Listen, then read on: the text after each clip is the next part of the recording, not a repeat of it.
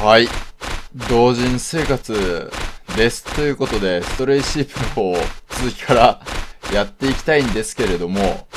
これはなんとね、あの、2テイク目です。で、2テイク目で、なんで、あの、このね、飛んでる音のシーンから始まるのかっていうと、まあ大体察しがつく人がいるんじゃないでしょうかね。まあね、いつまで経っても目的地に着かないんだよね、これ動画があるわけでもないし、ブラックアウトしたこの状態でね、なんか永遠と飛んでるわけですよ。あの、PX とポーは。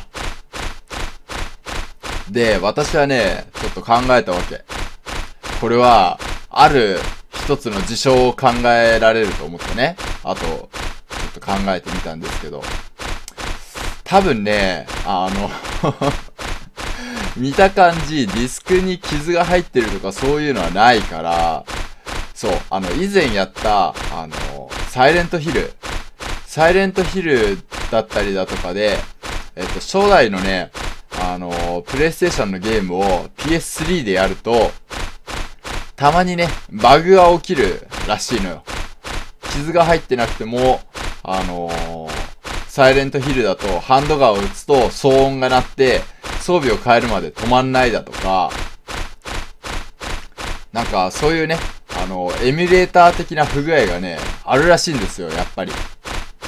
で、あの、これを続けようにも、えっと、初代の PS1 をね、私は持ってないっていうか、まあ相当前にね、あのー何年ぐらい前だろうな、もう完全に7年ぐらい前に、もうすでに壊れて、もうお亡くなりになっておりますので、ちょっとね、それで新たに手に入れるってのも結構困難だと思いますし、別にそんな手に入れたいみたいなところのね、2を手に入れたいという感じもそこまでないんで、まあ画質も落ちちゃうしね。ということで、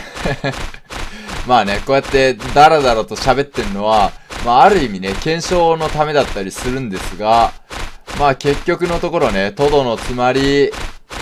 うん、3分ぐらい喋ってますが、それにしたってこの、飛んでるシーンが終わんないっていうのは、まあね、エミュレーターバグか、ディスクの傷をね、疑うべきなんじゃないかと。うん、結構ね、個人的には、あの、なんだろう、こうね、こういう、声が出ないやつで、声を当ててみたいなってのはあったんで、まあ、ある意味ね、結構いい勉強にはなったかなって思います。まあね、ノベルゲームとかをやって自分で声を当ててみようかなとか、そういうのもちょっと、あの、考えてはいたんで、はい。そういう点ではね、これはあのー別にそういうのを意図して買ったわけじゃないんですが、まあ、うん。なんとかね。なんとかなんとかで、こう、実は、声が入ってなかったっていう感じで、声を当てられる機会をね、得られたんですが、てか、なんとかなんとかじゃないの。別になんとかじゃないけど、はい。で、まあ、正直ね、あと10、9ステージもあんのかと思って、だるーとか思ってたところだったんで、まあ、なんていうか、こう、俺の気持ちが届いちゃったのかな、みたいなところもありますが、うん。まあでも、やったからにはね、最後までやりたかったなってのは、ちょっとありますよね。最後どうなるのかってのは、まあ、ハッピーエンドは大体分かってますけど、いやでもこのゲームちょっとひねくれてるから分かんないけど、まあ、夢落ちだったっていうね、あの、オチもちょっと、ところどころ考えてたりもしましたけど、ピーチの育つのが早かったりとか。はい。ということで、まあ、この冒険はね、まだ始まったばかりだと。俺たちの冒険はまだまだ続くぜ、みたいな感じでね、今ちょっといろんなボタンを押してみます。見てるんですけど、やっぱり何の反応もないんで、ホームボタンだけちょっと聞くみたいだけど、はい、ということで、このね、鳥が羽ばたいてる音をバックに、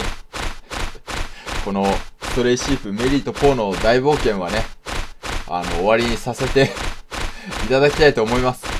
これがね、もし回避方法とかあるんだったら、ちょっとね、教えてほしいなとか、自分で調べてみたりっていうのはあるかもしんないけど、うん、でもね、調べましたよ、一応。でも、あの、調べ方は結構適当だったんですが、このゲームに関してはね、ほとんど出てこなかったと。フジテレビのその深夜帯になんか登場したよみたいな、そういう概要みたいなのが書いてあった程度で、こういうバグがうんぬんってのは多分買う人がいないからなんでしょうね。PS3 でやる人がいないから、こういうバグがね、ちょっと、そのまま放置になっちゃうみたいなところはあると思うんですが、まあはい。長々と語ったのは 言い訳でもないですが、こうやってね、あの、もう進むことができなくなってしまったみたいなんで、進行不能のバグっていうか、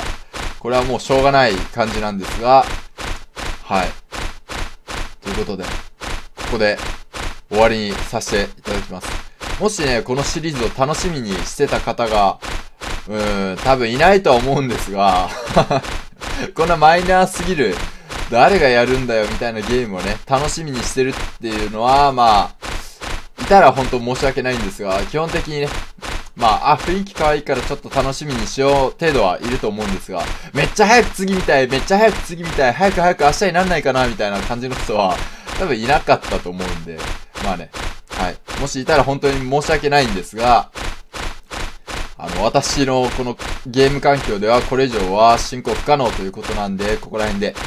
やめさせていただきたいと思います。はい。でね、あの、さっきも言ったけど、やっぱなんで長々と喋ってんだこいつって言いたいのかもしんないけど、ちょっとね、望みをかけているところあるんだよね。もう7分になっちゃったけど、こんだけ喋ってれば、そのうち、あの 次の島に続くんじゃないかなと思ってね、ボタン連打とかしてるんですけど、やっぱり無理ですね。はい。ということで、ずっと終始ね、この鳥が飛んでる音をバックに話してきましたが、はい。3度目、4度目ぐらいになりますが、ストレイシープ、メリーとポーの大冒険はこれからまだまだ続きますが、私の環境ではもう続けることができませんので、終わりにしたいと思います。はい、ということで、長々とお付き合いありがとうございました。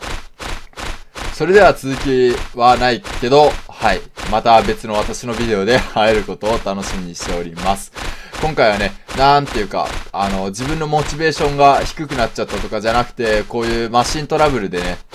エミュレーターは俺いじれないから、はい。あの、そういうトラブルでちょっとダメになってしまったのは、すごい申し訳ないんですが、はい。ここら辺で終わりにしておきたいと思います。ずっと真っ暗な中、こんなね、鳥の飛んでる羽音を聞きながらっていうのもおかしな話ですが。はい。それでは、また別の私のビデオで会えることを楽しみにしております。それでは、